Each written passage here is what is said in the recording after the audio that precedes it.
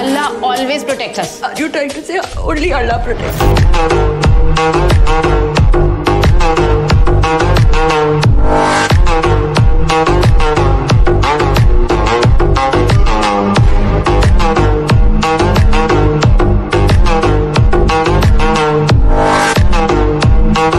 मेरा नाम शालिनी उन्नी कृष्णन था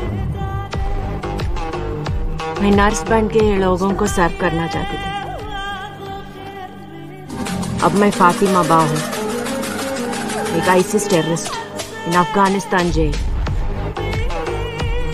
और मैं अकेली नहीं हूँ। मेरे जैसे 32,000 गर्ल्स कन्वर्ट होके सीरिया और यमन के रेगिस्तान में दफन हो चुकी है। एक नॉर्मल लड़की को एक खतरनाक टेररिस्ट बनाने का सबसे डेंजरस खेल चल रहा है केरला में। और वो भी खुले आम कोई नहीं रोकेगा इसे ये है मेरी कहानी। ये है उन बत्तीस हज़ार लड़कियों की कहानी।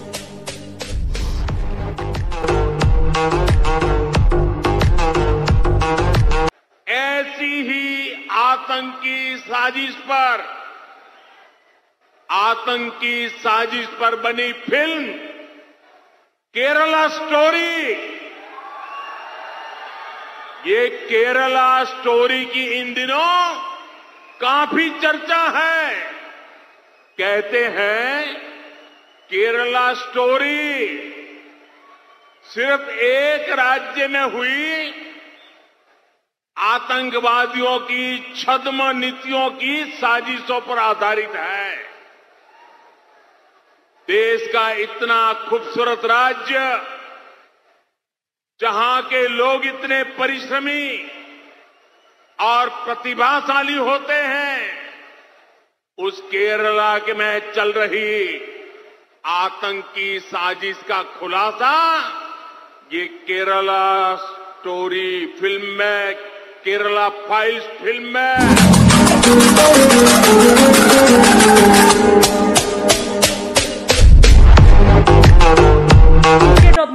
Was their duty to criticize it. But they worked together. I'm sorry. I'm, I will request the state government chief minister. Very sad that your party is working with BJP. And that, that BJP is showing the Kerala files a distorted stories. Even since few days ago, since now, the party nominated some stars nominated by BJP, funded by BJP. They came to Bengal also. And along with some distorted stories, the concocted stories, in a film, films, Bengal Files. कि तुष्टिकरण की राजनीति ममता जी कब तक आपकी चलेगी मेरा सवाल विपक्षी दलों से यह है चाहे वो कांग्रेस हो कम्युनिस्ट हो तृणमूल कांग्रेस हो क्या बेटियों को जाल में फंसाकर जिस काम पे लगाया जाता है वैश्विक आतंकी संगठनों का हिस्सा बनाने के लिए या आईएसआईएस का हिस्सा बनाने के लिए, क्या आप उसके खिलाफ खड़े होंगे कि नहीं होंगे एक महिला होने के नाते? क्या भविष्य में किसी बेटी के साथ ऐसा ना हो, वहाँ पर ममता जी क्या इस तरफ़ खड़ी होंगी कि नहीं होंगी?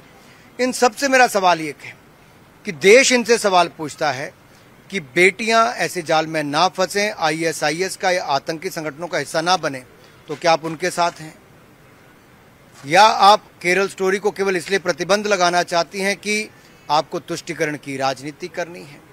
देश आपसे एक सवाल ये पूछता है कि आप देश की सुरक्षा के लिए साथ में है कि नहीं है? क्योंकि ये आतंकवादी संगठनों की गतिविधियाँ देश के खिलाफ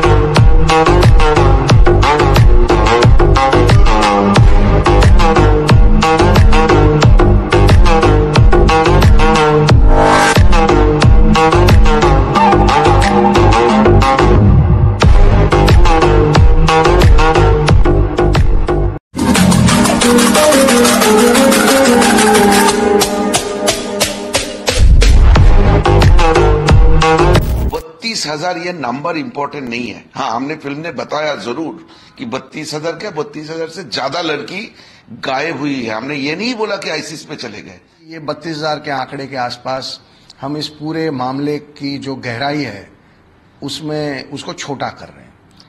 आंकड़ा क्या फ़र्क पड़ता है? जो भी लोग इसे लाइक प्रोपागेंडा कह रहे हैं या नंबर डिस्कस कर रहे हैं आई कांट बिलीव कि पहले हम लोग नंबर जस्टिफिकेशन दे रहे हैं और फिर हम लोग कह रहे हैं कि लड़कियाँ मिस हुई। डरावनी कहानी है that girls are going missing मैं इन लड़कियों से पिछले सात साल से मिल रहा हूँ। लड़कियों की ज़िंदगी को कैसे बर्बाद हुआ ना मैं एक एक स्टेप देखा उनको ज़िंदगी को बर्बाद होते हुए।